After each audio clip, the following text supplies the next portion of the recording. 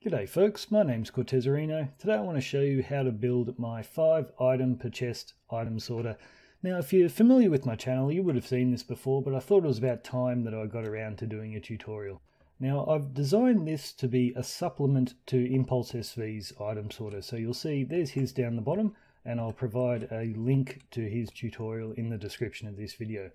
So I've got his doing oak wood here and oak wood planks and up the top is my one, which will do stairs, slabs, fences, fence gates, and doors.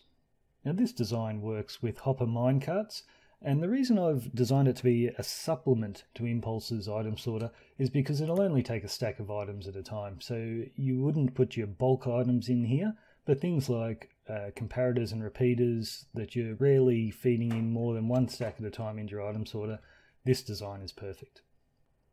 So this minecart up the top here will sit underneath your hopper chain collecting all of these five items. And when you want them to empty into your chest below, you send a signal through all of your cells. So when you push the button, this minecart will run across these four hoppers and come to rest on the fence gate. As it runs across these hoppers, it will drop one of the items that you are collecting in this cell.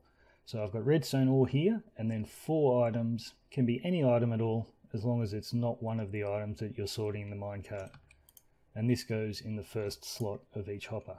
So as the minecart runs along, it will drop in one of those items, so you will then have two redstone comparators in here. Now there are five items that we're sorting, but only four hoppers here. That's because the minecart itself will act as the fifth hopper. So you'll see in the first slot of this minecart, I've got two items. So a moment after this one runs across the top. The bottom one will run along here. And as it comes up this slope, it will collect the two items from the first slot of this hopper. It will then activate this activator rail, release this top minecart, and it will run down and empty its contents into your chest. The bottom minecart then continues along here, and as it runs past these four hoppers, will collect one more item out of this first slot and come to rest underneath your hopper chain with a full complement of items to collect. Now you can speed up the bottom minecart so you only need one item in here, but I like the idea of having that extra little buffer zone because the minecarts are moving objects and we don't want anything to go wrong. So you'll see here we have a full complement of items ready to collect and this one is emptying everything left over into this chest. So the design is two blocks wide, but it is completely tileable and the switching the minecarts is as easy as pushing a button. When you're planning to build this, just bear in mind that it can only be built facing either east or west. So just place down four powered rails, and whichever way they connect and face is the direction that you have to build the item sorter. So now I'll show you how to build it. So begin by placing down a furnace, and this furnace will sit on top of the hopper chain of Impulse's item sorter. You can then place down a double chest here with a hopper feeding into that chest right here and pop a powered rail right on top with a block against the powered rail and a minecart with hopper on top.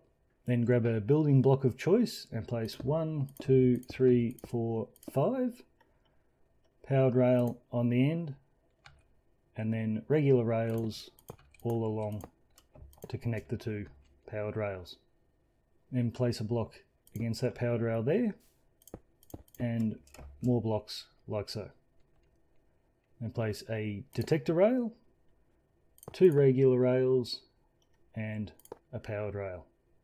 On this block here, place a lever, switch it on, and on top of the lever, a regular block, and then one, two, three, four, five. On the last block here, place a regular rail and then powered rails all along here. So come around this side and place hoppers feeding in to the powered rails like so. You can then place powered rails on top of the four hoppers now come along here on top of the detector rail, place a temporary block, another block, delete the temporary block, and a redstone torch on the front of this block and that powers your rails. Now next to this activator rail, we'll break that powered rail for a moment, place a temporary block with a fence gate on top, break the temporary block and replace the powered rail. Now around the front, I want you to place a block here, a block here, piece of redstone dust there, and a block on top.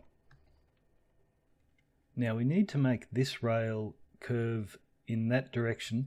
So your best strategy is to leave out all of these rails here until the very end. So build all of your cells and then do this bit last. And when you do it, uh, looking from the front of your sorter, you'll start on the right side and you go regular rail, then activator rail.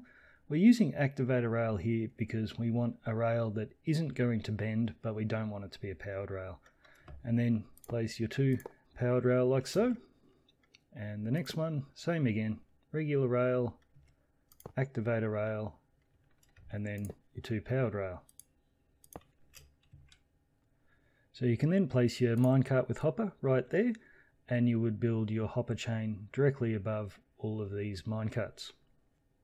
So decide on the five items that you're going to be sorting in this particular cell. And you see here I've got oak stairs, slabs, fences, fence gates and doors. And I want you to grab two of each of those items. Come along to your minecart with hopper and in the first slot place two items and then one item in each following slot. Then come along to your first hopper, place in one of your items in the very first slot of the hopper, and then fill up the other slots with an item that you are not sorting in this particular cell. And continue that along for each hopper.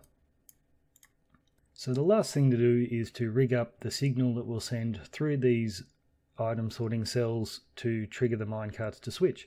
So on top of your chest, place a temporary block and a block on top and repeat that for each cell and then on top of this block, place repeaters facing in one direction. It can be either direction, doesn't matter. So now when we send a signal through, it will trigger the minecarts to switch. So thanks for watching guys. If you have any questions, just uh, leave a comment and I will answer you as quickly as I can. So cheers, I'm Cortezerino. See you later.